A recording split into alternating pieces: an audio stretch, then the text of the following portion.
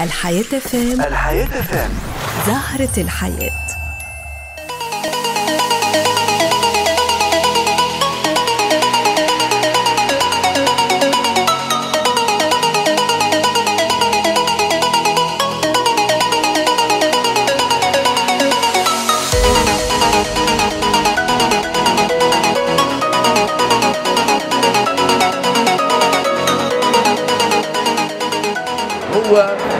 أصبح الآن التكنولوجيا الجديدة التي عمت العالم وخاصة استعمالاتها كثرت وأصبحت استعمالات ليس عسكرية فقط وإنما مدنية وتجارية.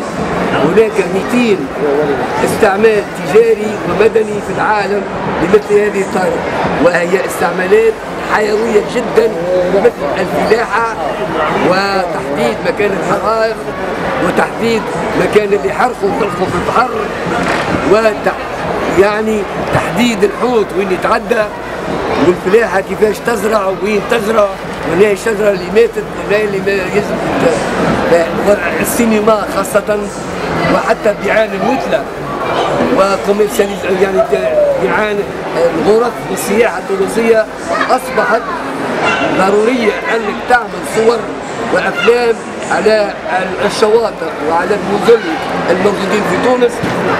باش نجم آه، يعني آه، تسوق المنتوج السياحي بتاعك.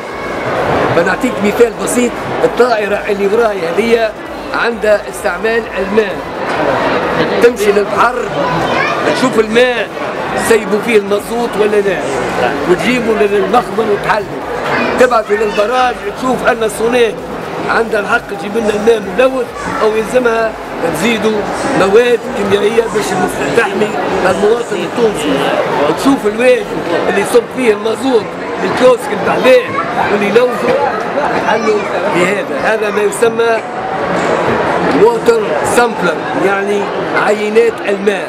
ما نجمش واحد يدخل في barrage بعيد عليه ولا يدخل البحر بعيد يشوف المازوت. أكحل في الشاطئ يبعث الدرون يطلع يهز العينة. ثم يجيب بالك تحت سقيك وتوا ولوا هناك مخابر متجولة. تحط الكبسول في ذلك بالتليفون وتقول له يا سيد الماء هذا يصلح الشراب.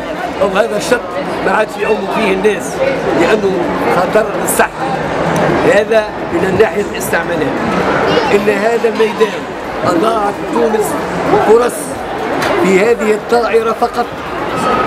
خلال عشرين سنة تساوي 200 شهيد كانت الطائرة هذه. منه عسكري مش شعبي. كانت الطيارة هذه تمنى غارق في البحر حرب كانت هذه الطيارة تلقاها وتمنى هذه فرصة تاريخية أن تونس تعمل على أولادها عندنا كفاءات أكثر من عزوز بشوش ونحطوا اليد باليد. ونعملوا ما يسمى ببرنامج وطني للطائرات للطائرة بدون طيار ما يهم يهم الدفاع ويهم حماية الحدود والحرائق والفلاحة وقوم كل واحد. إيش نوع الكسوة اللي لبسوا هذه يقيسوا له كسوته واحد يحب يشوف في الليل. في النهار الآخر يحب يلقى المينا. المينات عندنا كابتورات توري لك المينا في الشعاب قبل ما تبعث الجيش يموت. إذا يلزم توعية للمسؤولين يكونوا وطنيين. هذه عملية الفكر. يلزم الوطنية باش العلماء كيما أنا نلمدهم ونجموا نقدموا تونس أشواط وأشواط جدا. الحياة فام الحياة فام زهرة الحياة.